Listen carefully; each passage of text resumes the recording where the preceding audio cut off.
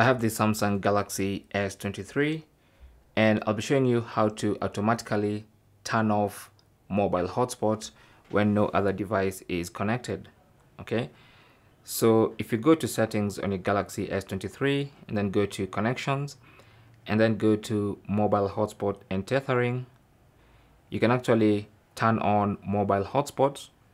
And that means anybody with a Wi-Fi enabled device can connect to your your phone's Wi-Fi or your phone's hotspot and use your internet connection.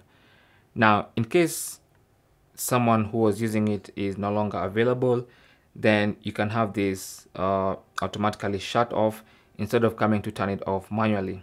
Because if you forget it on, it might drain your battery for no good reason.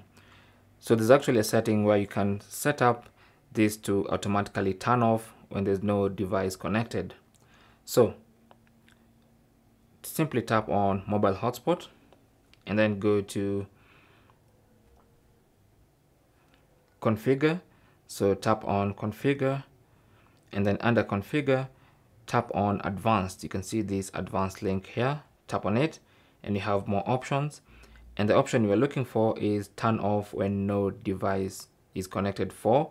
By default it's 20 minutes. So you can actually adjust the time you can set it to never timeout which means your mobile hotspot will always be on. Or you can set it up for a shorter time maybe five minutes to save uh, more battery.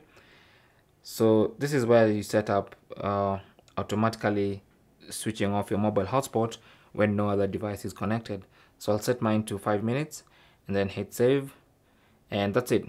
So anytime you have your mobile hotspot enabled on your Galaxy S23 and no device is connected for up to five minutes then it's gonna automatically switch off.